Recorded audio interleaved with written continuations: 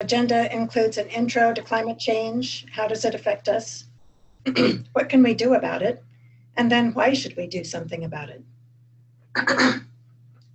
I'll be speaking on how do you know what's true. Matt Glazewski from uh, Portland Community College will speak on state of the science. Matt has a bachelor's in meteorology, master's in climatology, and teaches courses on climate change, meteorology, and oceanography at Portland Community College. Then Alice Brawley Chesworth from City of Portland Bureau of Environmental Services will talk about how does it affect us.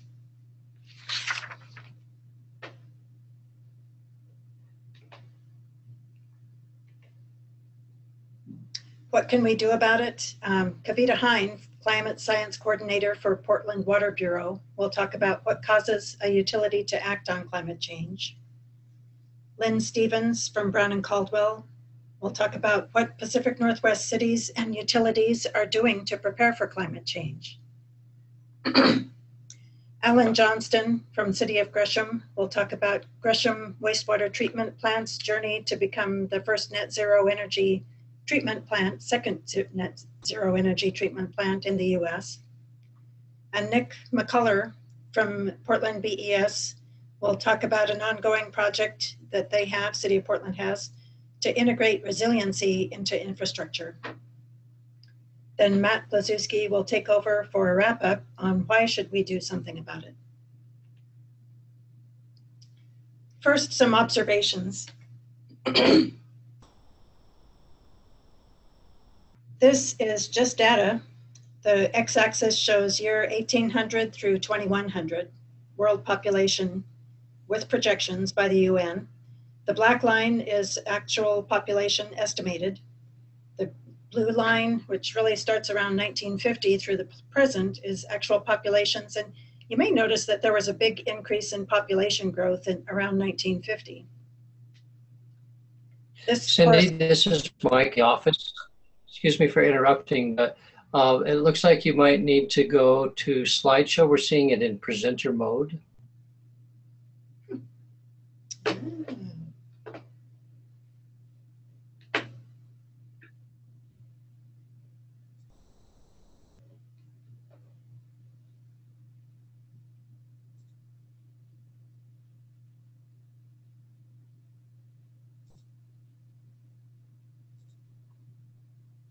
Did that there.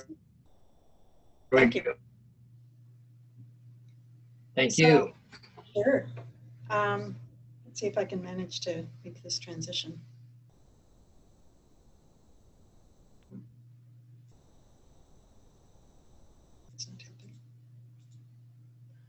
All right, so I was just pointing out the world population curve looks a lot like the world energy consumption curve. You'll see um, the x-axis is from 1820 through 2010. And there's an inflection point around 1950 when our energy consumption really takes off. And now in 2010 and beyond, we're using mostly fossil fuels, coal in red, oil in green, natural gas in purple. And that has resulted in a lot of um, carbon dioxide and other greenhouse gas emissions. Um, the x-axis on this chart is from zero through 21, 2000, zero through the present.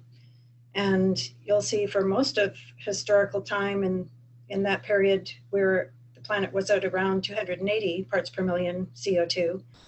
And around 1950 again, it started shooting up. Now we passed 400 parts per million um, CO2 emissions or concentration in the atmosphere just a few years ago. So how can we tell what's true? This is one of my favorite subjects, and it's probably not by reading the Chicago Tribune. This is their headline page from 1948. It says Dewey defeats Truman, and that's not what happened. Actually, Dewey was ahead in the polls. Truman actually won, but the newspaper jumped the gun and printed it wrong. It's not the last time the newspaper's gotten some, something wrong. So when it comes to climate change and what's really happening, is there consensus? We can we can look at peer-reviewed science. If you're looking at news, radio, any of the media um, sources, talking to your friends, listening to politicians, those are not reliable sources for science information. The consensus is um, the overwhelming scientific evidence clearly shows that the planet's climate is changing that humans have and are contributing significantly to, to climate change.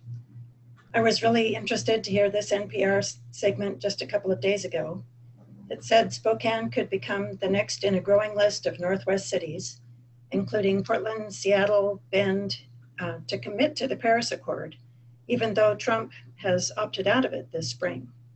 So this is through the US Climate Alliance. That's a group of states, cities, and businesses are continuing commitment to the Paris Accord. I love this definition of science, objective and disinterested inquiry. And I've always loved Einstein quotes. So here's one. We cannot solve our problems with the same thinking we used when we created them. It's a good one. A couple of years ago, John Phillips and I um, spearheaded this effort to write the PNCWA climate change position paper. John at the time was Sustainability Committee Chair. Now he's president of PNCWA. And I was chair of the Sustainability Committee back then and still am. So we drafted it with this group of people. Dr. John Abatzoglou from University of Idaho is a prominent Northwest climate researcher. He reviewed it, so it has been peer reviewed. And we used all peer reviewed science sources to write it. We had three reference documents. One is called What We Know, which is the climate change position paper by the AAAS. This is the world's largest general science organization. And the link is right there. This is a great paper. I highly recommend it. Climate Change in the Northwest, brief summary by the North Pacific Northwest Climate Impacts Group is the another source we use. The link is right there. And then the last source is by our parent organization, the Water Environment Federation, called Protecting Water Resources and Infrastructure from the Impacts of Climate Change. So the position paper, I have just a couple of quotes in here. Climate change is dramatically altering the world's water environment in the following ways that you can read here. And this is of special interest to us in the clean water profession. The overwhelming evidence of human caused climate change identifies significant costs from current impacts and extraordinary future costs and risks to society and natural systems. I've included a link to the position paper so you can read it. It's a five pager, so not bad. So now I'll turn it over to Matt Glazewski. Thanks, Cindy. Folks, bear with me just for a second while I share my screen. Okay, so uh, as Cindy said, I'm Matt Glazewski. Uh, I teach uh, courses on climate change at uh, Portland Community College, and I've also um, actively working toward uh, climate, change, climate change uh, adaptation and mitigation strategies for uh, water utilities here in the Pacific Northwest. So first, uh, just a little bit of background uh, about, um, you know, what we know about climate change and, and, and um, what sort of efforts are underway in the world. I mean, we've certainly all heard um, a lot of different um, talk of the IPCC, um, the Intergovernmental Panel on Climate Change, uh, it's actually an international body uh, for assessing the science related to climate change, and it was set up actually in the late 80s by the World Meteorological Organization um, and the UN Environment Program. Uh, essentially, just to provide policymakers with regular assessments of scientific basis of climate change, uh, its impacts, future risks, and options for adaptation and mitigation. And there are 195 members um, of the IPCC, and largely the efforts that come out of there um, involve uh, uh, modeling efforts uh, and a whole bunch of different uh, policy recommendations. Uh, and then here back back in the States, we have the U.S. Uh, Global Change Research Program's National Climate Assessments. Um, and those are actually something that were um, established by presidential initiative also in the late 80s, 1989, uh, and mandated by Congress um, in the Global Change Research Act of 1990 to develop and coordinate a comprehensive and integrated um, U.S. research program, which assists the nation um, and the world to understand, uh, assess, predict, and respond to human-induced and natural processes of global change. Um, and then we, we have the Pacific Northwest Climate Change Vulner- Vulnerability Assessment, which is essentially uh, a subset of the National Climate Assessment, just looking here uh, more specifically at what's going on here in the Northwest. But um, that said, you know, how do we know um, about how climate change works? I mean, it, it's it's kind of um, become a pretty popular uh, point of discussion, and we really have to go back and take a look at what our uh, understanding of the fundamentals of the science are in order to be able to explain this. Um, and when it comes down to is that it's actually some pretty basic stuff, um, some settled science that we've actually known for uh, 100 years or so um, that really just, uh, on the whole, uh, references the Earth's energy budget. Um, this graph shows essentially if you were to imagine uh, we had 100 units of solar energy coming in from the sun, you know, the source of all of our energy on planet Earth that uh, allow us to, to live here and, and, and uh, thrive. Um, there's a, a, bunch of different ways that this solar energy interacts with the Earth's atmosphere.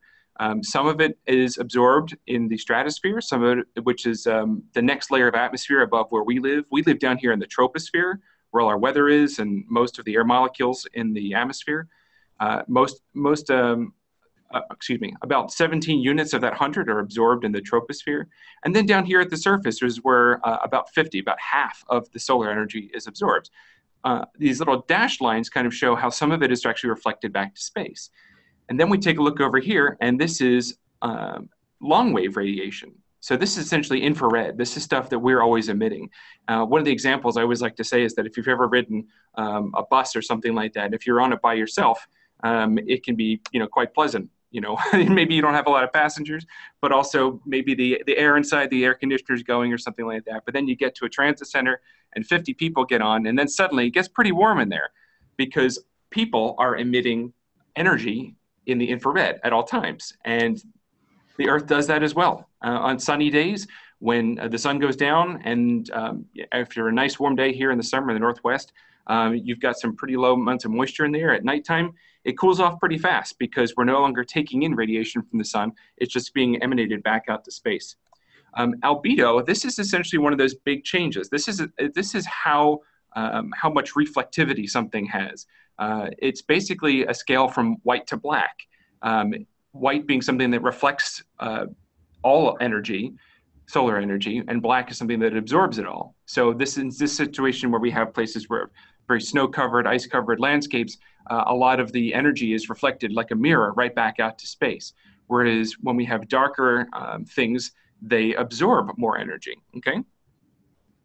Um, and then Cindy mentioned uh, briefly about greenhouse gases. Greenhouse gases are a way that we essentially mess with this whole situation here because if you start putting more gases um, into the troposphere that uh, are going to absorb that energy, then you start to mess up the, the budget, uh, the Earth's energy budget. So we can take a look at um, different contributions of different greenhouse gases to radiative forcing. And by and large, uh, carbon dioxide is, is the big uh, culprit when it comes to absorbing uh, solar radiation. Uh, we also have methane, nitrous oxide, ozone, um, and chlorofluorocarbons and other gases as well. But by and large, the lion's share of the energy that gets absorbed um, in excess of our uh, general energy budget is by anthropogenic uh, CO2 emissions. And that's, that, that's really where the problem is. But just really briefly, uh, this is essentially showing you that where uh, on the electromagnetic spectrum we have different uh, wavelengths of, of, light energy, right? Because the sun is throwing everything it has at us at all times, and then it passes through a, a series of different filters by the time it gets down to, here, to the surface.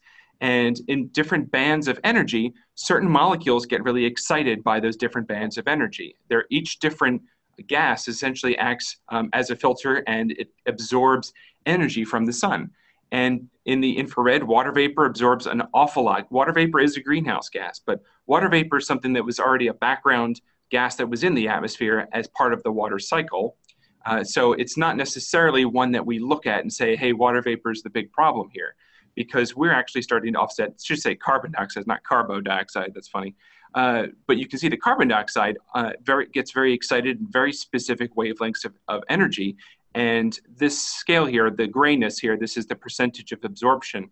Uh, and you can see it really absorbs a lot of energy in, in one band uh, or multiple bands of energy that come from the sun. Uh, we also have just ozone and oxygen, just O2 and O3. Um, of course, we know about the ozone layer, uh, really absorbing a lot of ultraviolet so we don't get cooked when we go outside. Uh, and then methane, which we also know is a greenhouse gas, uh, nitrous oxide. And then Rayleigh scattering, this is essentially uh, why the sky is blue sort of thing, okay? So that's just a background that we understand that greenhouse gases are really the issue. The greenhouse effect is a good thing because it's what makes our planet someplace that we can live in. But if we start taking uh, a whole bunch of carbon from these long term reserves, things that are there for millions of years, just kind of outside the system, and pump them into the short term system, that's where we start to have issues because we're sort of offsetting a piece of the carbon cycle. And by doing so, uh, we're pumping more and more carbon dioxide into the atmosphere. We already know, based on a laboratory environment, one of the easiest tests to do in the world in a properly equipped laboratory is to put an artificial uh, atmosphere and start adding carbon dioxide and hitting it with, with photons, with light. And you can see that the temperature goes up because it absorbs that energy. Uh, this, this has been settled science for a very long time. Um, and it's, it's one of the best uh, arguments that we can provide uh, for climate change. Okay, so now I'm just going to briefly talk about what this really means um, here in the Northwest. One of the great things is that a lot of um, different, uh, all of our different states have state climatologists, and they're usually attached to an academic institution, and partially funded from from different sources from the academics, but also from um, from the state itself. And each one essentially studies the environment of how climate change can affect the Northwest. And that's really a terrific um, tool that we all have because some of our uh, state climate offices here in the Northwest have done some pretty uh, terrific work that's really been very useful and helpful in understanding our impacts here. This is just a summary slide. I don't like to put a lot of text on slides, but for this one, I think it really does hit it home. Um, and many of you are probably reading this, um, so I'm not really going to go through it too much. But I do want to just emphasize that we are looking, generally speaking, at a warmer planet. Uh, we've seen uh, the past several years have been warmer and warmer and warmer. If you take all the temperatures observed around the globe and average them together, we continue to see an uptick in temperature. And that makes sense based on an understanding of how greenhouse gases uh, impact uh, the energy budget of the planet. So here in the Northwest, we're looking at continued warmth. And we're starting to be able to see a couple different uh, occasions where it does appear that things have been exacerbated by climate change. Uh, weather is a short term thing. Weather is day to day, whether it's sunny today, it's raining tomorrow, or whatever. Climate is something that happens over a long, longer period of time. And we can start to see in some of these weather events, they become slightly more extreme. Uh, the most recent one would be the winter uh, of 2015, uh, where we saw very, very low snowpack uh, in the Cascades and other regions of the Northwest. And that can be a bit of a problem if we start to see warmer winters where when it's when we're getting precipitation it's not falling as snow it's falling as rain because as you all know we have a number of rivers and streams here in the northwest that depend upon uh, melting snowpack during the summer months so that's going to be an issue, and some of the other speakers are going to talk about that in a bit. Um, we also have issues with coastal flooding and erosion. Um, those of you who uh, are in some of the coastal counties in Washington and Oregon, uh, or any tidally forced rivers, are probably aware of, of what this type of uh, problem is, and um, that goes hand in hand with sea level rise. So if the water level is higher, the natural times when you would have coastal flooding will be exacerbated uh, ocean acidification, which is definitely a problem more for aquaculture.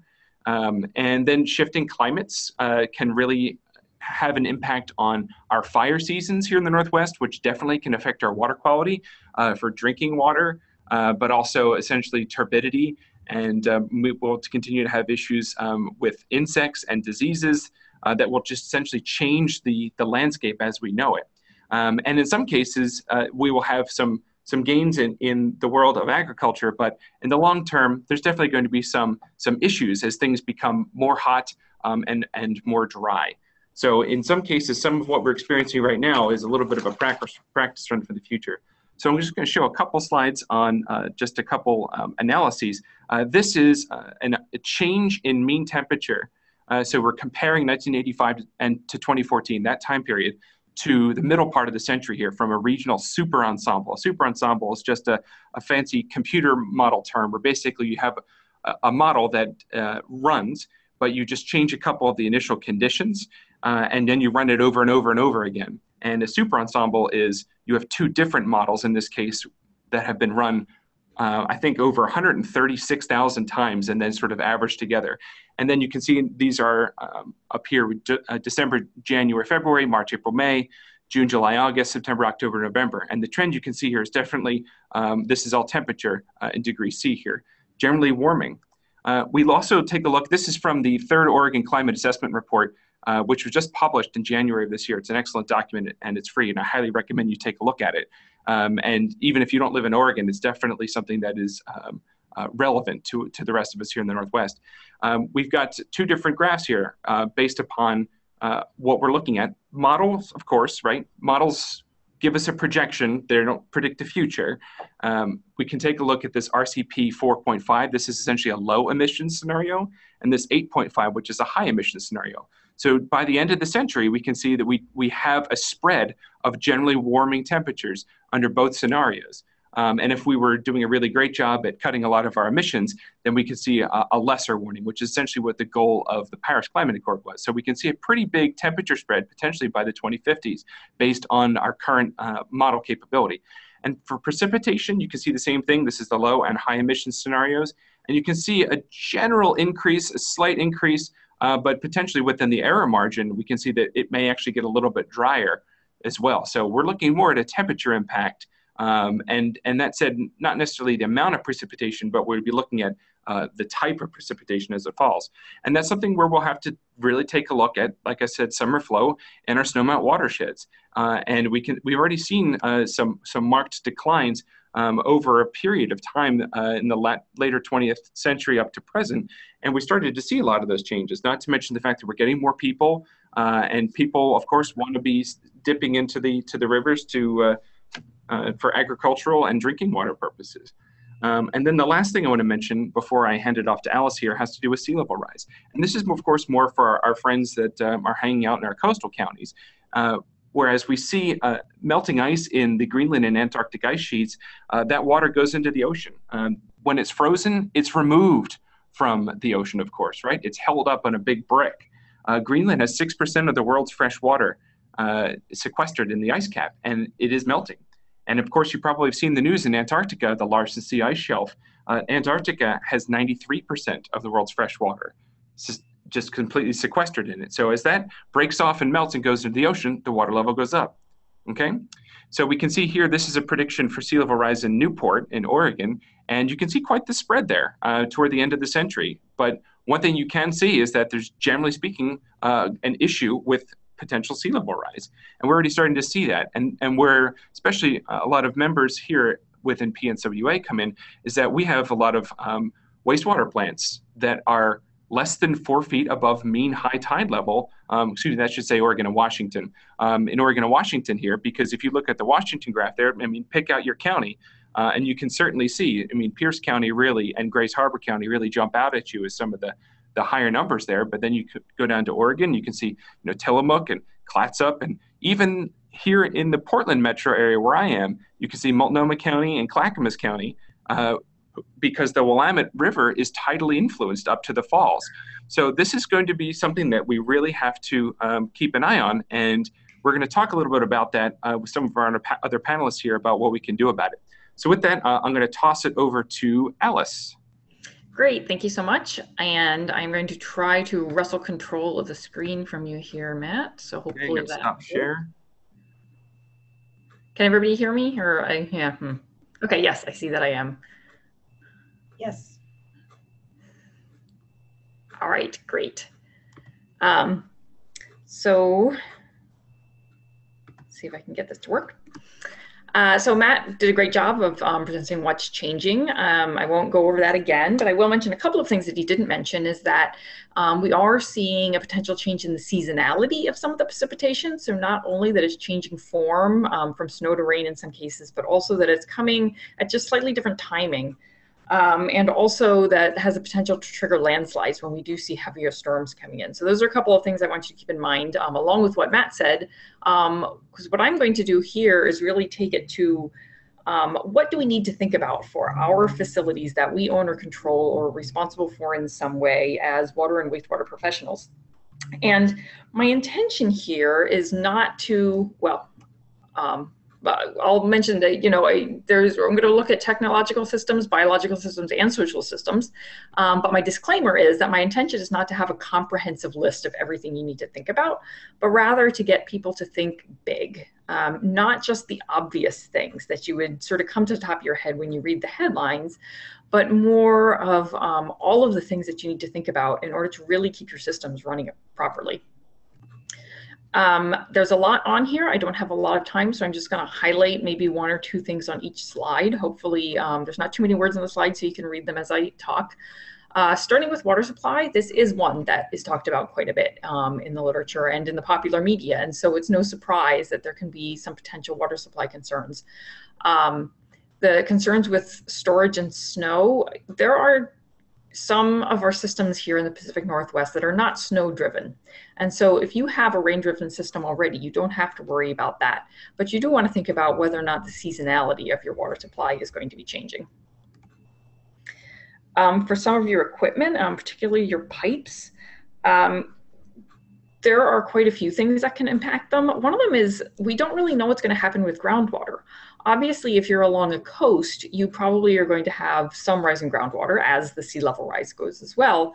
But further inland, um, we don't know if a slight uh, increase in overall precipitation is going to raise groundwater levels or if it's going to vary more seasonably. Um, but it is something we need to start thinking about for because when we go to do repairs on pipes, um, we might find that they're all of a sudden wet when they didn't used to be. Uh, for stormwater, of course, this is also a big concern for those of us in stormwater agencies. Um, one of our biggest challenges right now that I'm seeing is that we need to think about what we do with our design storms. We design our facilities um, using, for the most part, uh, the past uh, to predict what's going to happen in the future. Now that we know that the past isn't a good predictor, what do we use? That's unfortunately we know that the past is not right, but we don't know what is right. Um, and so we have to make those choices. Are we going to adjust our design, design storms every few years as more information comes in? Are we going to try to set one now of what we think is going to happen 100 years from now? As you saw from Matt's slides, there's great variability in that, but we are building facilities that are supposed to last for 100 years. And so what are we going to do about that? Um, our wastewater systems, uh, one thing that Matt mentioned was the, the flooding of the, the plants themselves. But even if your plant doesn't flood, um, your discharge elevation in your river might change. And this could be from localized storms or it could be from sea level rise if you are tidally influenced or on the coast. Um, but you might end up having to pump more or move your discharge point, and that can be a very costly thing. Um, one other thing I wanted to mention is that as the climate warms, your treatment processes might actually go quicker. Um, it's something that could be good and that you can push more through your plant, but you also have to think you might have to provide more air to your um, secondary system in order for it to function properly. And do you have the right sized equipment to be able to do that? Moving on to biological, um, since I have to go quick here. Um, these are things that if you're a stormwater agency, you really have to think about. And even if you're not, um, this is what really keeps water quality um, in check is our, our green infrastructure, both natural and built that we have in our communities. And um, I think we're more keenly aware of that in the Pacific Northwest and in other places. But, you know, we know hotter air equals hotter water, which equals dead salmon. Um, and that's a big deal in this part of the country. But there are also other animals that are affected. Um, beavers, turtles, all of these animals are used to a specific temperature regime and are under more stress and more susceptible to z- disease when um, the temperatures rise. And for the food cycle, if you have predators and prey starting to um, hatch and mature at different times than they used to, they might not coincide in the way they used to. And so predators could have a real problem finding their traditional food sources. Um, and so we're going to have to think about whether or not that impacts us and what that means for our natural systems. invasive species. Uh, as the climate changes, um, the species that are going to thrive here are going to change. Um, one thing that's that's interesting to think about is we need to take advantage of this, so to speak, also in that our green infrastructure that we own and control, we need to start looking at what of these plants that are moving into our area are actually beneficial for us to use. If we can't use the old native plants and make sure that they survive through the long dry summers that we're predicted to have or through maybe some additional flooding um, are some of those other plants that are just south of us now going to do that work for us and um, provide us with the same services. Um, another thing is just really looking at what happens to the natural systems themselves. Um, for flooding if you have a healthy floodplain, it can probably um, absorb additional water when there's when there's flooding, but most of us don't. Most of us live in areas where the floodplain has been impacted, and so really we're we're looking at more erosion and scour um, of vegetation and of our built environment also. And we need to really think about that as well as the potential for more landslides, um, taking out some of our green infrastructure and um, things that we now get for free from the natural environment might not be there in the future. So one thing that um, I think most of us are engineers, um, we're infrastructure people. Uh, we think about um, we think about the built environment. Sometimes we think about the natural environment, but we also have to think about the social environment. One thing that we've seen here in Portland quite a bit lately is that um, there's an increase in the homeless population. And of course, we can't contribute, we can't attribute that to climate change. But we are hearing that climate change is going to increase inequality. Um, so the types of problems we have now with poverty and inequality are probably going to only get worse. And so with that, there might be more vulnerable people who are in areas that flood more often than they used to. And what does that mean for us? Um, we are obviously not responsible as wastewater and storm and uh, water utilities for homeless populations. But if they're in our facilities, which has happened here in Portland, um, what does that mean for us in terms of maintenance and being able to provide our services? And of course, if the um, the population of poverty increases, how are they going to pay their bills? Uh, there's some conjecture that there will be climate migrants. Um, it's hard to know, but as there are uh, articles in the national media, which this um, this graphic here came from um, originally a national source that was published all over the country, shows that we're going to do a lot better than some other places. Um, you know, there is the possibility that people from places like Arizona and Texas will be moving northward. Um, we need to think about that. But one thing we don't think about very often is can we plan for population loss? There are some localized areas, even if the Pacific Northwest is going to do relatively well, there are some areas that are going to experience loss of population, either because of flooding or, you know, just drying and it not being as good a place to live. And can we plan for that? Can we learn from places like Detroit that have lost population? Um, you know, we've seen there that they have lost revenue, they have stagnant water in their mains that they um, have to flush more often. There is or unmaintained properties that we can't rely on their drainage systems um, being maintained appropriately. And so, should we really be thinking about that now? Um, disease and illnesses, again, not our job, right? Except that our facilities might harbor vector-borne or vectors, um, you know, like mosquitoes. And if there are additional vector-borne diseases coming in, um, we might be asked to do more to control that, um, as well as new diseases. If people might remember the Ebola scare um, a couple of years ago. Wastewater treatment plant operators were worried about that. They were worried if they were vulnerable to infection um, from the potential of Ebola coming in to wastewater treatment plants. And so it is something that we need to think about.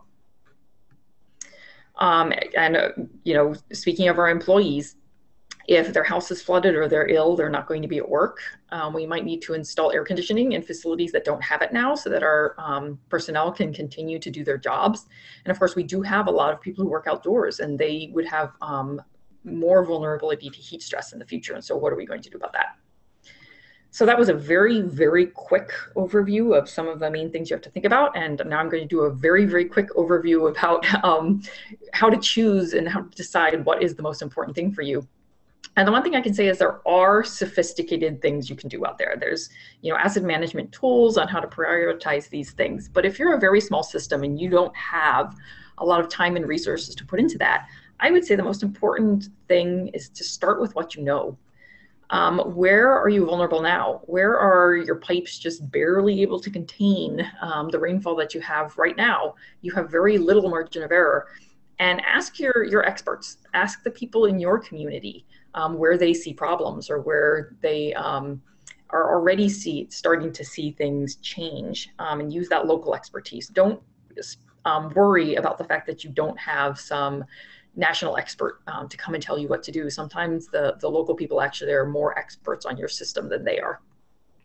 Some ideas um, for starting, and I'm sure others are going to talk more about kind of what to do, but um, my recommendation is to try to diversify your actions, um, take some hard and soft actions. So a hard action would be um, building a bigger pipe if, if necessary, or moving um, your outlet to your wastewater treatment plant. But a soft action would be to monitor um, what's going on somewhere and propose maybe some trigger points or decision points of when you would want to take action um, and find out what your data gaps are. Um, those are more of the soft actions that you can take. And so with that, um, my takeaways from here to think broadly, start with what you know, and to realize that not everything's going to be done at once. Um, this is something that we are going to continue. The changes are going to continue for decades to come, and so our work will continue to, for decades to come also. And so that is the end of my presentation, and I will hand off now to Kavita. Hi, everyone. This is Kavita Heyn. I'm the Climate Science Coordinator for the Portland Water Bureau, which is the drinking water utility for Portland, Oregon. And I, um, I'm going to share with you some thoughts I have that are related to the two present or several presentations we've just heard about now that we know sort of what the impacts might be for our different systems, what would cause us or motivate us to act or plan for climate change? And uh, what are some considerations that utilities really need to focus on? So I'm sure you'll hear a little bit of repetition.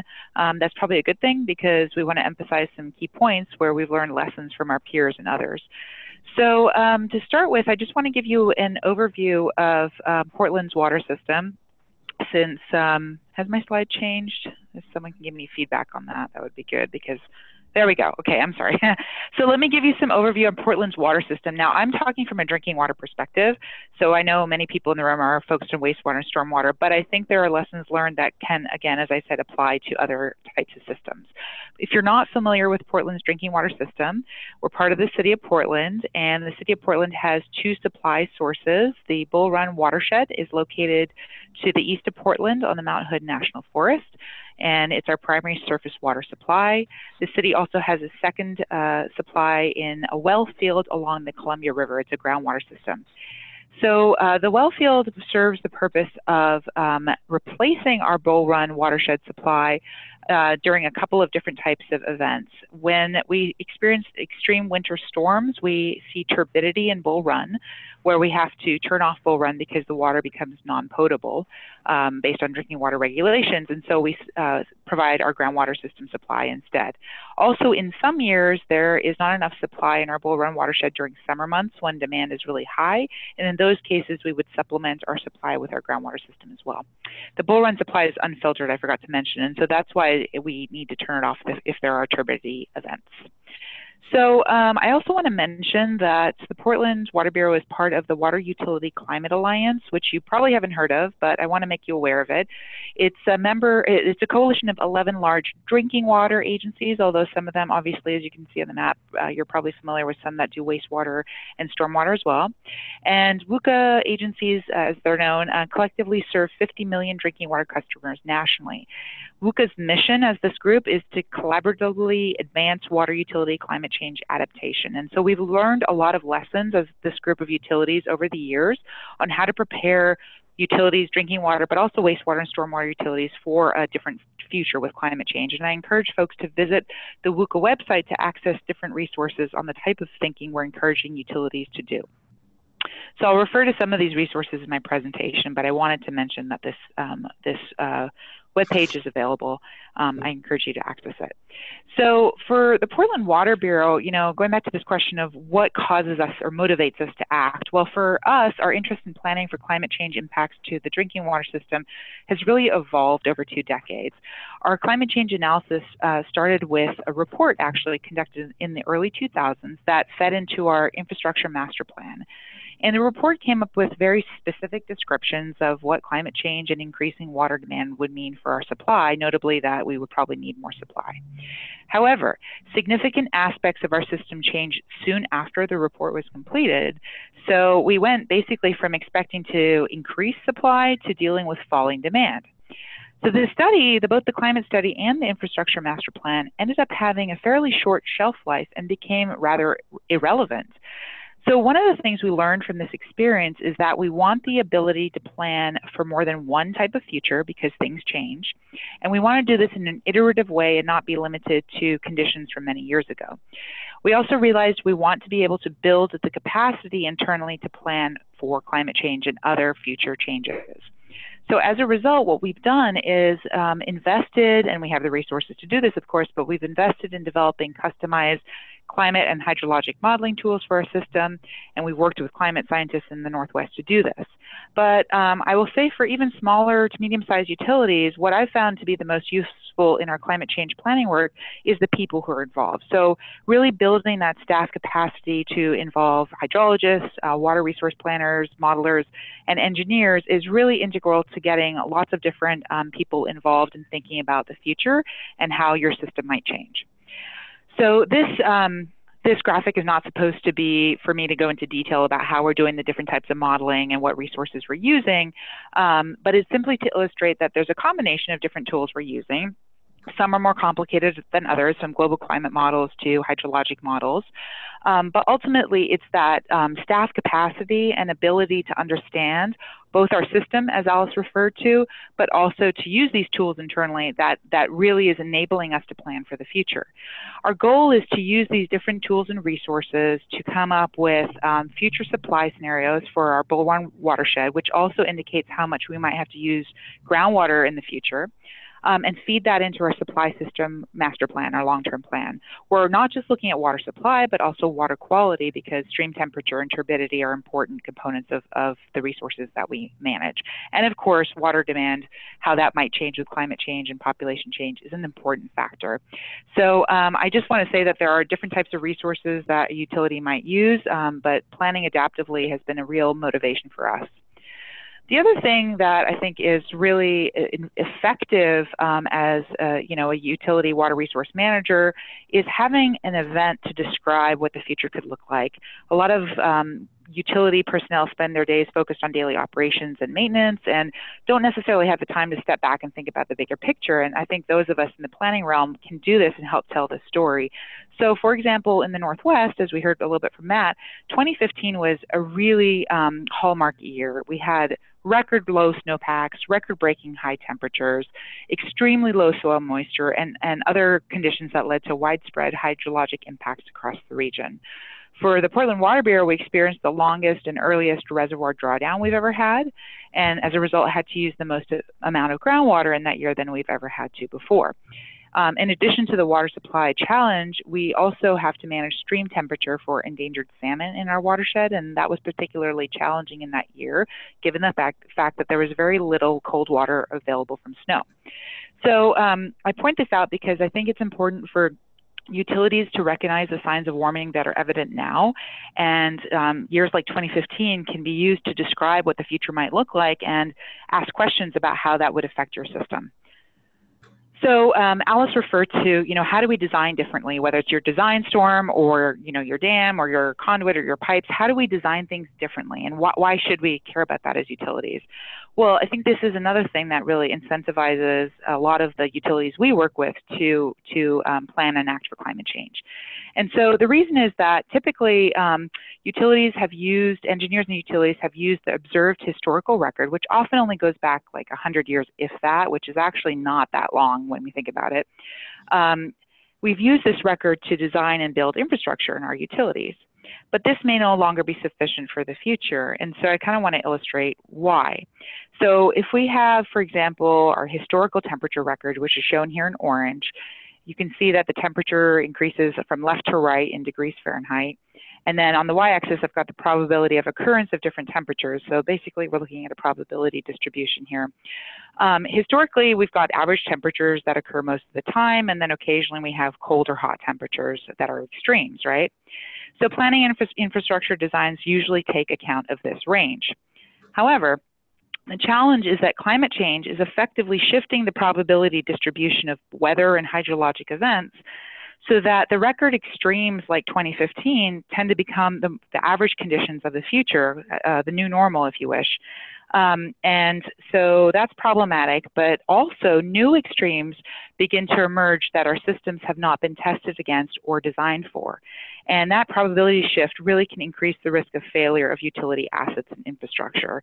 So if you kind of want to think about a reason of why you might want to plan for a more resilient infrastructure system, this is why maybe the designs we have are just not sufficient. And even with safety buffers, maybe that some of those safety buffers are not effective um, for all future conditions. And so because of that engineering and design challenge, I just want to make you aware that the American Society for Civil Engineers has actually put out a report called Adapting Infrastructure and Civil Engineering Practice to a Changing Climate. And they encourage engineers to develop a new paradigm for engineering practice in a world in which climate is changing and suggest engineers should seek alternatives that do well across a range of possible future conditions like I just mentioned. So for example, can your system deal with a flood and a drought? Do you need to increase your factor of safety even further? I want to highlight a couple of examples, practical examples of how utilities are doing this nationally. Um, and uh, the examples I have actually come from a survey that the Portland Water Bureau did in 2015 of 18 national and international water utilities, both drinking water but also wastewater and stormwater, where we asked the question of these utilities, how are you assessing climate risks to your water utility built assets and infrastructure? You can access this, this report at the Water Utility Climate Alliance webpage, um, which is shown below. So um, a couple of examples I have include the fact that, you know, in Fort Worth, Texas, the Tarrant Regional Water District experienced some record-breaking hot temperatures in 2011, both air temperatures and lake temperatures. And they um, had these pump motors that basically have been fine for decades in the hot temperatures in Texas, which you can imagine are really hot compared to the Northwest, but were now failing in really extreme heat. So in response, the water district installed new cooling systems that don't require the lake water for cooling and which can operate at higher temperatures. Another great example comes from New York City, of course, where after Hurricane Sandy, the New York City Department of Environmental Protection opted to redesign certain wastewater pump stations that failed during the storm because electrical components buried underground were flooded. So new designs recommend moving these components above ground to be able to withstand future storms that may be as severe or more severe than Sandy. And then San Francisco Public Utilities Commission has a sewer system improvement program um, whose levels of service goals include a goal to modify the system to adapt to climate change. So this is a way that the utility is mainstreaming climate change preparation into its levels of service. You can see um, right here that one of the levels of service is that new infrastructure must accommodate expected sea level rise within the service life of the asset. And it even specifies the inches of sea level rise that the infrastructure should be designed to deal with by certain time periods. So again, more examples are available in the report, and I just wanted to sort of show a practical face to what it means to um, build more resilient infrastructure. Finally, I just want to end with this thought that um, while reevaluating engineering design standards is important, like I've just talked about, there's unfortunately not just one set of new design standards that we can apply moving forward. Utilities will need to grapple with the large amount of uncertainty in the climate information. Now, let me clarify what I mean by uncertainty. I'm not talking about the physics of climate change that Matt talked about. I'm referring to the spread in global climate model projections due to assumptions about what future greenhouse gas emissions will be. We don't know exactly what they'll be. And also, um, we don't know exactly how the climate system will respond. So there's a large spread um, in what the future could look like. In the Northwest, um, as Matt showed you in a previous graph, we really could um, see a whole range of different things when it comes to precipitation. And that's obviously important as water utilities. We really care about what happens with water. Um, and so in the spring and fall months, um, for example, the Portland Water Bureau is really concerned about the timing of reservoir refill and um, fill and refill. And so we really care about this time period. However, we're having to deal with really a range of information in the in the climate data. So this graphic illustrates that. Each of the dots here is a global climate model projection, and each of the colors is a different greenhouse gas emission scenario. And so what you see on the x, y-axis is the change in precipitation. Anything above zero is an increase. Anything below zero is a decrease. And then the months of the year and seasons are on the x-axis, including the annual change. And this is a change in precipitation for the middle of the century in the Northwest compared to a historical period. So you can notice straight away that there's no clear number that you can plan for as an engineer, right? There's a real spread in what um, precipitation could look like in the future. If we look at just the spring and fall months, which I said are important for us, for example, we see that precipitation could increase, it could decrease, or it could stay the same. So how do we deal with that? We can't just take the average um, because it's not any more likely than one of the outliers here. Um, it's really important, as uh, I think someone mentioned, to note that these uh, climate projections are not predictive. They're supposed to give us a plausible range of future conditions. And so one of the final reasons I wanted to mention that utilities want to act on climate change is that you can't plan for just one future, you're going to have to plan for multiple futures. And so you want to think about your system operating in a range of conditions like both floods and droughts, as I said before. If it doesn't, then maybe it's not robust enough and you need to examine your vulnerabilities. So that's a lot of information on planning for multiple futures. If you want more, uh, more information on this topic, you can go to the Water Utility Climate Alliance webpage and find a, this paper on embracing uncertainty, which talks about how utilities around the world are planning for different uh, future conditions. So just to wrap up, um, I just want to um, summarize that I think there's a lot of considerations that utilities have to act on and plan for climate change. And as I mentioned, the things might have to, those, those actions might have to do with building capacity to plan adaptively and wanting to do that, recognizing that warming is here and now and we better take some action, designing for future conditions and extremes to make our infrastructure more resilient, and then planning for multiple futures. So with that, I'm going to uh, go ahead and hand it over to Lynn.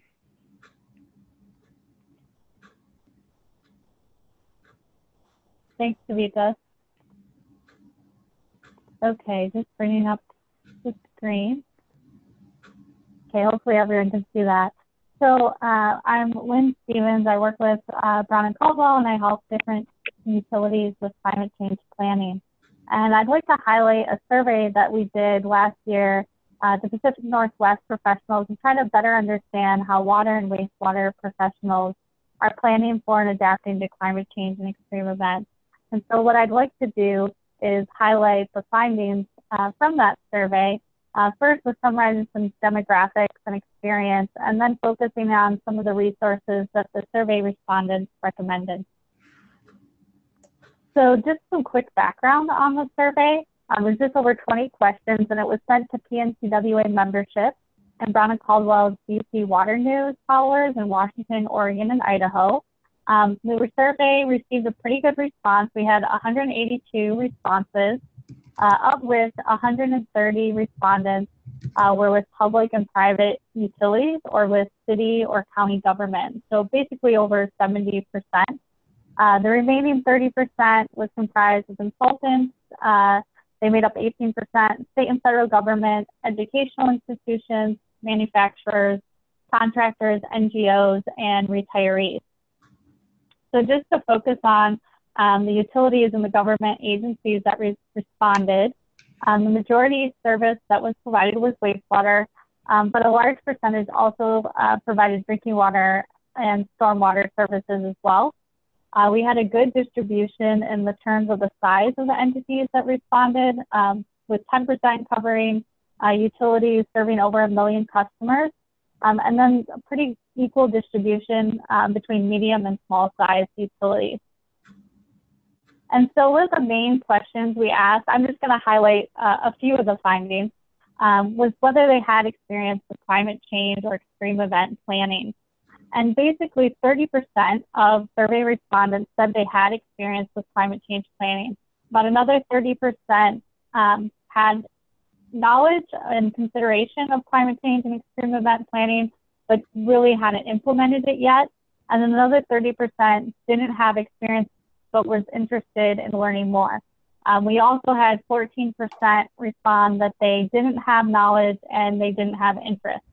And this uh, highlights the results for everyone who filled out the survey. We also uh, wanted to uh, better understand that same question um, for different groups that answered the survey. So we looked at planning experience for just the utilities and cities and counties um, based on the size of that entity. And uh, what you can see, unfortunately, the place where it says percentage is uh, 18%. This is a conversion from a PC to a Mac. But you can see off the bat that the number of no's and no interest uh, has decreased compared to everyone who filled out the survey. So there's a stronger interest uh, with utilities who filled out the survey. And then also there's a strong trend of larger utilities having more climate change and extreme event planning experience.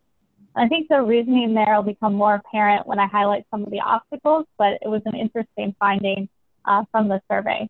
We also uh, investigated uh, how that question varied based on geographic area.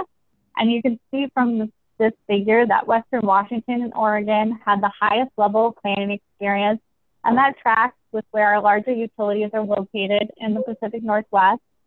Um, what I found interesting as well was that Eastern Washington and Oregon utilities who responded were pretty positive. They either had experience, had not applied their knowledge, or were interested in learning more. Um, Idaho also had some intriguing results, and it may be a matter of who responded to the survey, but there was uh, no planning experience um, from those that responded, and by far this had the highest response of no experience and no interest that I think really weighted the overall results of the survey as well. Um, we looked at drivers for planning efforts, and uh, you know, Kavita and others have both highlighted those as well. But based on the survey, um, 83% uh, were motivated based on concern over infrastructure resiliency. Uh, respondents also uh, could check more than one option and it was driven by public demand and responding to impacts utilities feel they are already seeing today. So we talked about the 2015 drought um, and folks seeing uh, the, the impact of climate change already. And when you compare the responses of those who had initiated the planning to those who had not, despite not having political backing, they were seeing infrastructure issues and then responding to community support. Um, and I just want to ask real quick, someone's uh, microphone's not muted. If you could mute it, we're just hearing a little bit of typing. So uh, we also looked at obstacles in the survey and funding received the highest response as a major challenge or potential reason for not embarking on climate change and extreme weather planning. And then another 30% uh, weren't sure how to interpret climate change data or make decisions given the available information. And that's just given uh, what Kavita talked about, you know, given the uncertainty with uh, carbon emissions and some of the predictions, what decision uh, tools and you utilize. And hopefully, as I talk about some of the resources and strategies uh, briefly, it will help to point folks in the right direction who see this as an obstacle. Uh, some of the steps for overcoming obstacles uh, focused on increased collaboration, both internally uh, within the organization or with other branches of government. Um, so, for example, Clean Water Services responded that they initiated a program to identify available information and brought together a group from different departments within their organization to determine what impacts might be on their operations. Um, and then City of Olympia encouraged state and federal government support. Uh, we've helped a lot investigate sea level rise for their Budd Inlet wastewater treatment plant. And the predictions for the region cause a good amount of the city to be underwater during high tides in future years. So a lot of collaboration there um, with state and local government. Um, respondents to the survey also recommended going to the experts. Um, so uh, Kavita highlighted what Portland Water Bureau is doing. Uh, King County is investigating or investing, excuse me, in research uh, City of Bremerton is working with the EPA and the Climate Impact Group, which is a great resource in this region. Um, additionally, someone highlighted hiring uh, consultants who without a vested interest in the outcome. So what are the, the tools that uh, folks are recommending to fill out the survey. Well, for climate change planning, it's important to look at long range forecasts uh, for climate model predictions and using hydrologic modeling to really understand local surface water impacts. So it's moving uh, beyond short term planning to look at impacts in 2050 or 2100 so that the steps can be taken now um, so that things really aren't too overwhelming. It's, you know, given some of the forecasts uh, from the climate change model. It's also utilizing a decision support planning process or scenario planning, given the future uncertainties. And then respondents also recommended asset management risk assessments, first responder training, and community emergency response simulation exercises, and then really incorporating resiliency planning in the capital improvement planning and operations process, as well as, um, excuse me, operations hydraulic modeling. There are also some national resources recommended, um, and I would also second I've utilized these, um, including EPA's adaptation strategy guide for water utilities, and uh, also mentioned was the National Stormwater Calculator.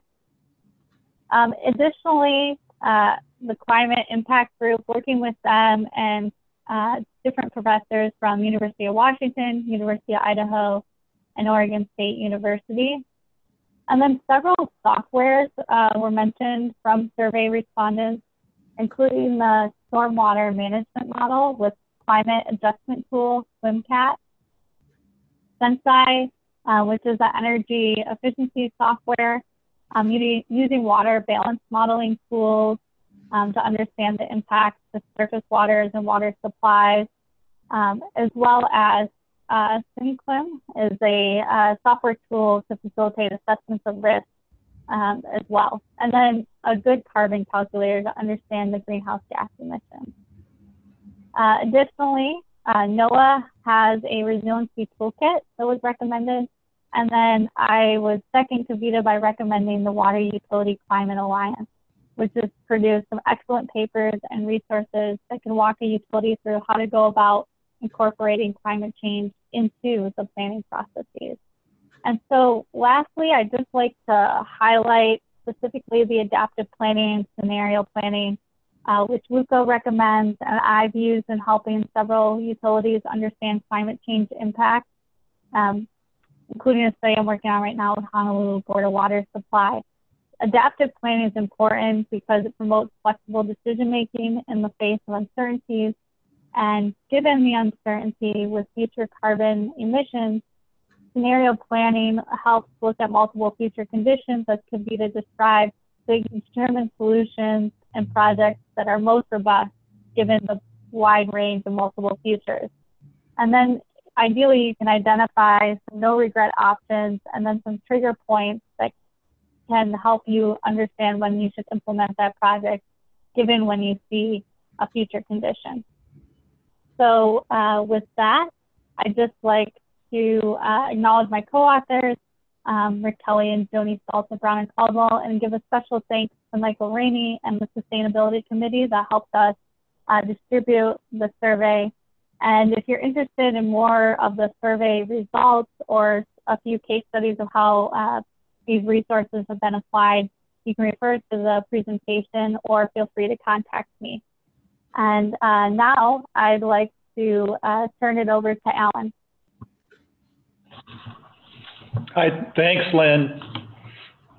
I'm going to switch it over to my screen now.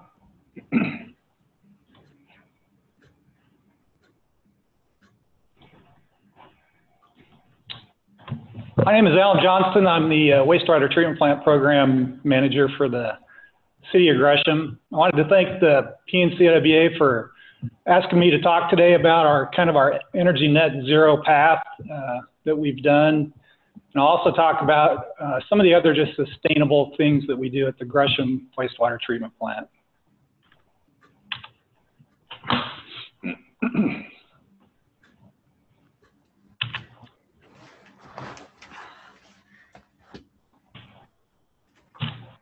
the uh, sorry about that. The uh, kind of the history here at Gresham was in 2005, we uh, installed a brand new cogen number one here, and it's been very successful. It's been in, in for 12 years. It's produced about 50% of the plant electrical needs over those 12 years. It's had a runtime history of 93%. Uh, we had a gas scrubbing back then and uh, remove H2S and siloxanes. That project saved us about $250,000 a year in avoided electrical costs.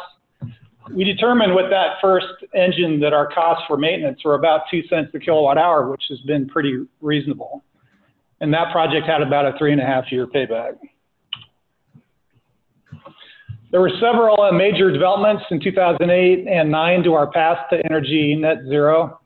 One of the biggies was that the Gresham City Council passed a sustainability policy. Uh, they wanted 80% reduction in greenhouse gases by 2050 and a goal of 100% renewable energy use by 2030.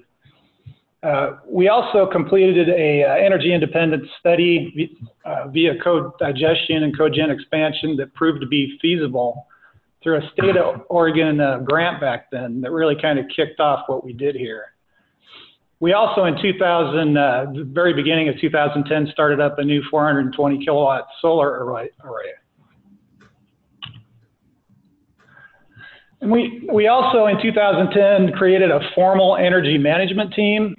Uh, we, we set a goal with that, one of the first meetings we had back then to be energy net zero by 2015. So we gave ourselves five years to look into all the options, make sure it was cost effective and uh, you know, get everyone on board to do the projects. We selected energy team members, uh, had a team leader, ops managers, engineering, maintenance manager came to those meetings. Uh, we, we still to this day have them every month. And, uh, you know, we talk only about energy, the past month's energy consumption, the past month's energy production, and what we can do to make sure that it continues to work well. We also developed an energy management plan. Uh, we keep that updated and look at it every month. Uh, we select and prioritize and evaluate projects during those meetings, and we try to stay on track.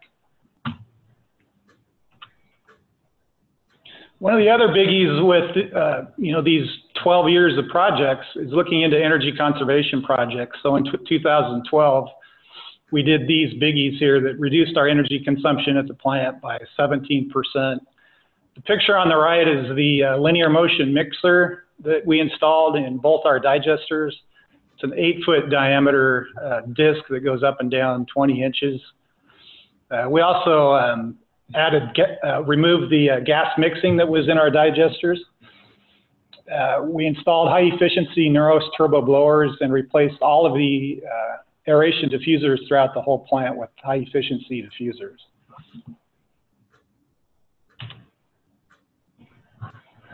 So another project that we did was looking into fog receiving, and we knew we'd need to do something like that to increase our biogas production at the plant in order to become energy net zero. And this has been pretty successful here. We did kind of what I'd call a pilot project, uh, Tank One in 2012. Uh, turned out to be very successful. The biogas production rates per gallon of fog were even above our expectations, and they continue to be today. So after that successful project, we added a 20,000 gallon uh, tank two that gave us 30,000 gallons total. We're now receiving 12 to 13,000 gallons per day, which is about the maximum our digesters can handle. Uh, we we did a uh, in 2016 did $350,000 in fog revenues. So that's been very successful too. We partner with five haulers in the area, contract with them. So only they can come and discharge fog into these tanks. The biggie, really, what this project is that our biogas production has almost doubled. And I'll show a trend on that on a later slide. So here's our just kind of our history. 2010, 11, we weren't accepting fog. We started with that pilot project in 2012.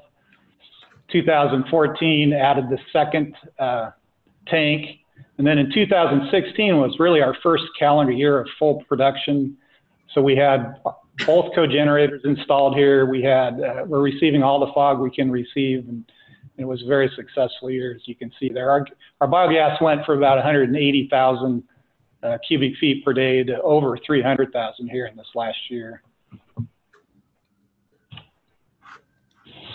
We used to flare the biogas prior to the second cogen installation. Uh, this was the last project in 10 years of, of projects towards energy net zero. This was completed in January 2015. So we've had uh, two 400 kilowatt cogenerators in operation now for over two years. And here's, here's their installation, Cogen 1 installed in 2005, and then uh, two years ago, Cogen 2 installed right next to it. We knew we couldn't add buildings and do things like that with this project, or it wouldn't have been cost effective, so we used existing building space. We also had CAT uh, provide the exact same make and model CAT, which has really helped with maintenance costs and understanding how the engines work. So I grabbed this slide out of our SCADA system, uh, I think uh, a couple days ago, so it's pr pretty new, but this is kind of a typical energy production and consumption for us nowadays on a sunny day in the summer. As you can see, we were doing 1.1 megawatt of power. We were consuming 668 kilowatts. And then you, in the graph, this is a 24 hour graph that you see in the center there and we were exporting, top right, you can see we were exporting 436 kilowatts back to the grid through our net meter. So it's a, in the summer, we do quite a bit of power production here. So what is energy net zero? I know everyone has a different uh, definition of it. This is kind of Gresham's. Uh, we, our goal is to produce more kilowatt hours in a year through our net meter than we consume. And we've been doing that since uh, February two years ago. And I cut out, this is right off our PGE bill. You, you can see it. This is a typical bill now. Our bills went from $50,000 a month prior to all these projects to now it's just around 4,000. And those are just demand charges and billing charges and things like that. So that's the lowest we could possibly get our bill and still actually be connected to the utility.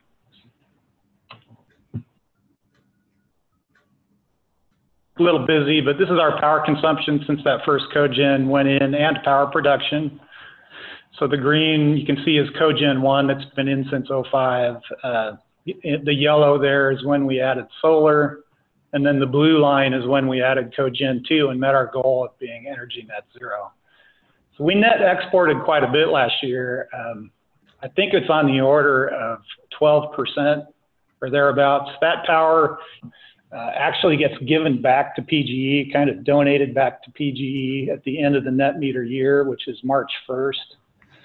And uh, so far we've donated, you can see in the bottom there, 892,600 kilowatt hours back to uh, PGE twice. And, and so we are net, net exporters, uh, but, but it doesn't do us a whole lot of good because they don't buy it back. There's just a few sustainability energy features kind of, uh, you know, above the net zero stuff that we do. We also do lots of other neat stuff, I think, that isn't talked about a whole lot, including, you know, just land applying biosolids as a fertilizer is a great thing that you can do. Uh, we recycle more than 12,000 gallons a day of fog uh, here at the plant. We shoot for LED street and area lighting when we're doing projects. Same with interior lighting. We've gone to try to use motion and photo sensors so the lights automatically turn on and off. Uh, we install premium efficiency motors in all of our projects and try to design for that. Uh, also use VFDs as needed to keep uh, electrical consumption down. One thing we do here is we try to heat buildings with our hot water loop. This is reject heat from the engines. We, we currently only use on average 35% of our heat production, so we're looking at ways to use that better. Um, but we're doing three out of our you know eight buildings with hot water heat. Uh, so we're slowly adding buildings to that hot water loop to get rid of the uh, electric strip heat heaters in our other buildings here. Uh, we also uh, keep an electric vehicle with charging station for all staff to use here. Essentially, it's free fuel for for the car. Uh, we also, I'll talk a little bit about it next, but we're also program to help businesses. And this is you know, obviously a little busy, but Gresham uh, it's called the Gresham Resource Efficiency Assistance to Businesses Program that the treatment plant is a member of. Uh, the program provides free outreach to help reduce wastewater and energy. So we use them a lot with uh, some of the more difficult issues regarding that. Like you'll see here, the you know two containers we have. One's a recycle; they're clearly labeled, and one's uh, you know one's for bottles and cans, and one's for paper. And we have those all over the plant. Uh, we have we do regular semi-annual catch basin and storm line cleaning here, which keeps us in compliance with uh, some of our other environmental permits. We use third-party certified green cleaners. Uh, those are provided by the GREAT program and reviewed by them. We also have uh, one of our buildings is LEED certified here. It's our thickener building that we rehabbed. Uh, we try to pr uh, purchase consumables and do all sorts of stuff you can see there, but all of those things add up, including send, setting our printers to de default two-sided printing. Everyone always asks me about cost. You know, it was great you did all those projects, but man, it must have been a fortune. Well, it certainly wasn't cheap, but here's kind of a, an outline of that. About 38% of the projects uh, were paid for through grants from the, Bet the old BETC program and the newer CHP Energy Incentive Program, as well as the Energy Trust. Uh, these all of these projects combined have about a six and a half, seven year payback. So it was a very, very good project for us. And here's, here's the actual revenue and avoided utility costs. Um, we were shooting for about 800 grand, you know, seven years ago when we started looking at this, and we're just about there in 2016. Uh, we've had four and a half million dollars in savings since 2005 with these projects, and uh, uh, I think uh, 2007 hundred thousand dollars. So I have to brag a little bit when I do uh, presentations on our Energy Net Zero project. Uh, these are just some of the awards that we've gotten. The newest one at the very bottom that we just received uh, last month, the 2017 Great Business Award for what we're doing here at the wastewater treatment plant. So everyone here is pretty proud of that one. And I'll hand it off to, I think it's going to be Nick. Thank you. That's coming over to me. Let's see what we do with that.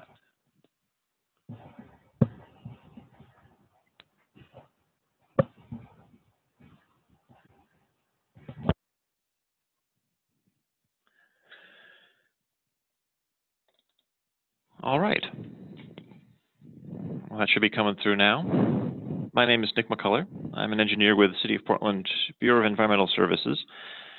I have been working on our resiliency master plan, which is a project to prepare our sewer system for uh, two disasters, the Cascadia earthquake and also climate change.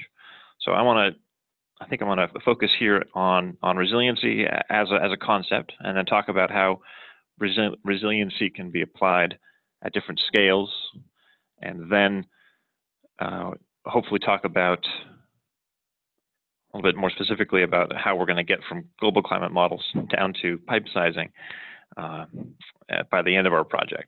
So we are also a little behind on time. So if I start speeding up, you'll know why. So the Resil Resiliency Master Plan includes both earthquakes and climate change. Now these are disasters of very two very, very different kinds, um, and and climate change also includes little disasters inside of it, things that that are storms, landslides, floods, uh, and ecological problems that are you know, effects of a larger uh, sub effects of a larger a larger driver. I want to connect resiliency to what we already know about sustainability. We know that we we want to avoid unsustainable growth, we want to try to maximize um, maximize our systems to, to work over the long run. But we can't really call ourselves sustainable in the long run if our systems can't withstand a little bit of disruption and, and come back. So, what are some things that we can do after disruption to uh, to get back. Here's here's sort of the, the anatomy of a, of a disruption, and, and and you can see by the, the, the suddenness of that disruption, this is this is what we think about a, with an earthquake. This also could be a could be a flood or, or another one day event like that. But we're, uh, we're going along. Our level of service is fine and normal, uh, and then something bad happens. So then after that, we have to assess the situation, plan what we're going to do about it. Hopefully, we've done some of that planning ahead of time. We've got some repairs, easy repairs to make, and then some bigger stuff that's going to take take a while. And when we get back, when we when we finish all that, we're, we're going to find that maybe some of that disruption is going to be permanent. Maybe we've lost some customers or uh, some some population, uh, or maybe there's some some permanent damage to the ecology. So ways that we can minimize this disruption is is through mitigation.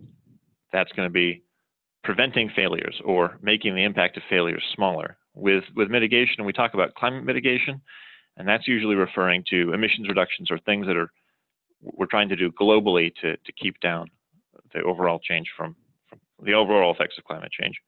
We can also talk about it um, more specifically for individual events.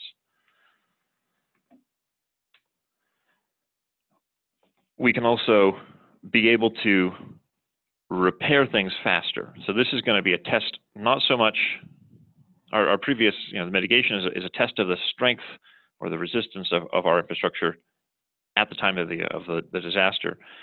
This is a test of our institution's ability to do projects, um, of our, our ability to plan ahead of time and our ability to complete things on, on schedule and on budget. And then we also have the option, we also want to try to, to build build back better. We want to get that we want to get that new normal to be something that is that's, that's preferable. And that's a real test of our strategic sort of our strategic decision making and, and how well we know the community and, and, and what we need to to make it successful. And, and hopefully, of course, uh, as we're planning for resiliency, we can plan to, to make all three of these kinds of improvements. Um, if we do a really good job, we might be able to actually get back to better than we were before. Now, I mentioned before that you know this is this sharp drop is what we sort of expect uh, for an earthquake or a flood or drought or hurricane or landslide or some other uh, fast event.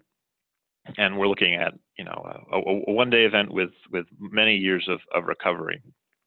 Now that doesn't quite match up with the time scale that we expect to see from from climate change overall, although these individual events um, do match that. So the, the, the time scale, and this is a little silly, but the time scale for climate change is, is more on geologic time. You know, we have we have ice ages, we have industrial revolution, um, we have undetermined future conditions, hopefully not quite so bleak. And uh, we're, we're also, we've never gone through climate change before, so we don't really know how it turns out in the future. Hopefully, it, it, uh, it turns out well for us all. But the, uh, depending on which news articles you've been reading recently, um, what we really need to do is, is sort of zoom in on this, this descending limb and try and see what that looks like you know, in in the, the foreseeable future in terms of climate modeling. And this is this is just a cartoon line, uh, but I, I, think what, what we're going to look at is is a series of series of disruptions of different kinds. So maybe a drought one year, maybe flooding another year, and we're going to have to be coming back from those. And we we hope that we don't see, you know, ongoing erosion of our of our ability to serve the community.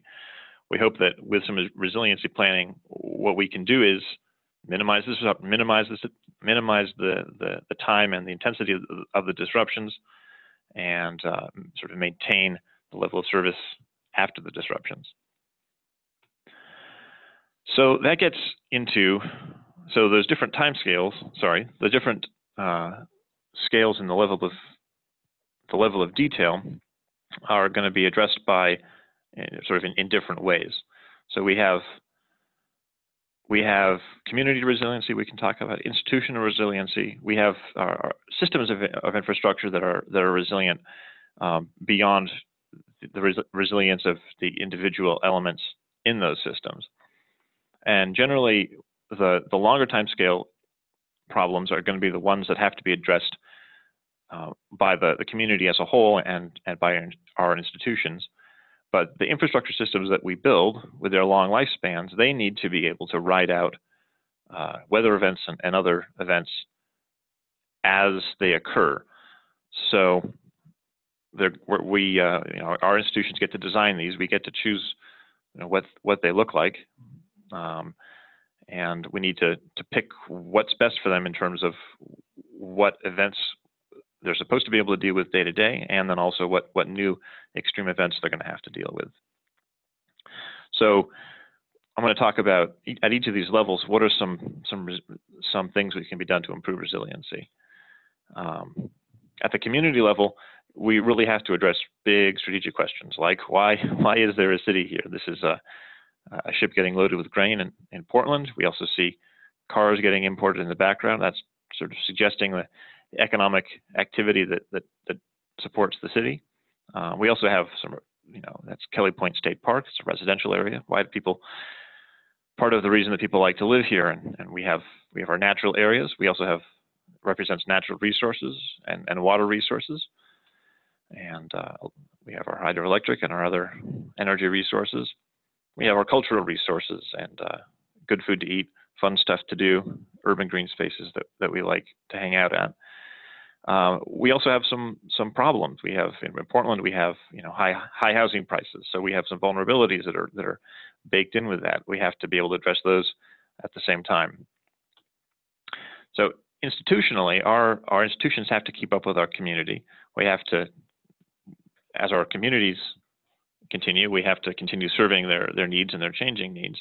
And I want to highlight our this is our, our Tabor to the River program, which was a uh, a program of projects that we did, including green and gray infrastructure, and including a lot of community outreach. So we were able to to meet a lot of our a lot of our ratepayers and um, make sure that the that uh, our project was was ser serving their needs and also make sure that we get the credit for it when it happens. Uh, we've we're also trying to ad adapt this the methods that were used to make this a successful program. We're trying to uh, put those in a bottle and, and, see if we can use them in our other projects going forward. So that's going to be a, a, way that we can perpetuate a, a, good a good a good process. Um, we also have strate strategic planning uh, to make sure that our interests are aligned or our, our, um, our activities are aligned with the goals of, of, the city as a whole. We're revising that strategic plan right now. Um, budgeting is above my pay grade, but but uh, our institution needs to have you know uh, good financial fundamentals. We need to be able to uh, pay for our projects and, and get bonds over time. And uh, we also have um, been working on a we have a continuity of operations plan. So in the event of an emergency or disaster, make sure that we can get people to work, make sure that we have plans so that we can respond quickly and get that that process going.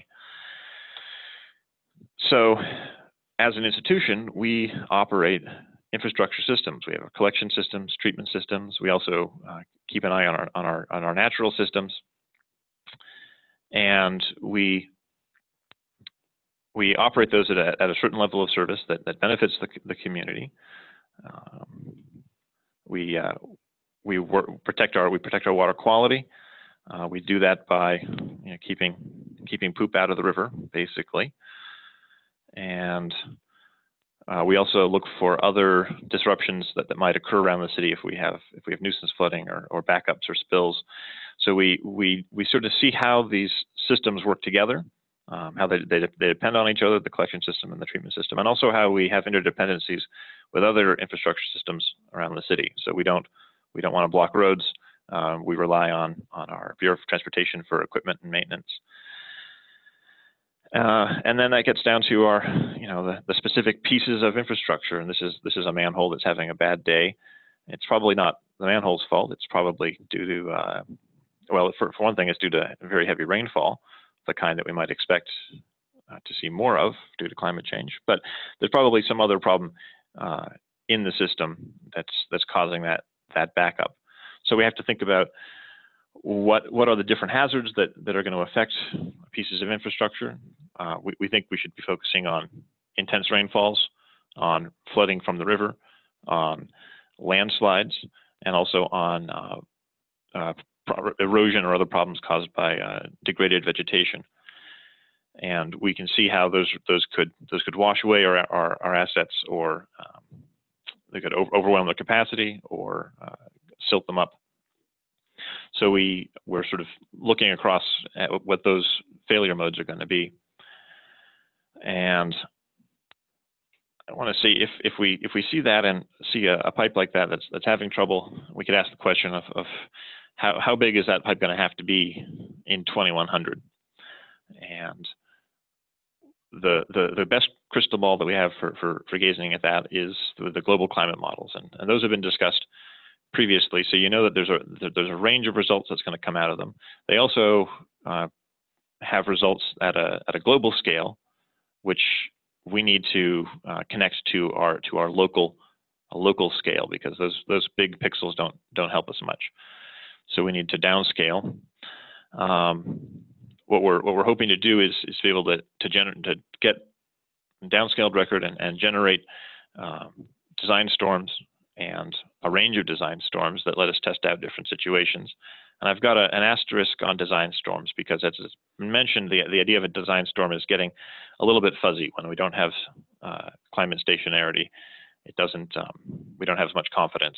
So, having a range of design storms or some maybe some long-term simulation instead is a better way to go. In any case, we'll be putting our predicted future rainfall through uh, through H&H models and that lets us see where our pipes are at capacity, where we might have risk of flooding or backups. And um, we, we have our asset systems management, which lets us see which properties are going to be affected by those, which streets, which manholes. We can put dollar values on that and um, estimate a, a, current value for, for that uh, for that impact. That gives us a budget for uh, what kind of improvements we could make right now, and and then we have to go back through the level of detail and, and decide if construction is the right answer to that, or if um, we need to look somewhere else in the system. If we need to look upstream for inflow reduction or downstream for for capacity. If we need to look, um, if maybe the, the, that money would be better spent on on response and repair, uh, or or just liability, and uh,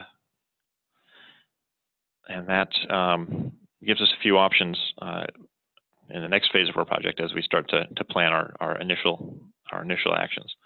So that's a very fast run through on on our resiliency master plan and some of the, the concepts behind it. Uh, I think it's time to pass back to Matt. Yes, thank you, Nick.